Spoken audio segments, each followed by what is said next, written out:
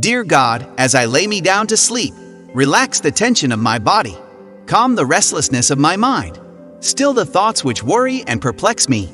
Help me to rest myself and all my problems in your strong and loving arms.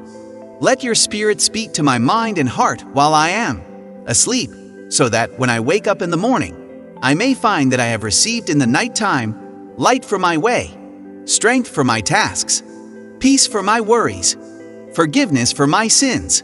Grant me sleep tonight and tomorrow power to live.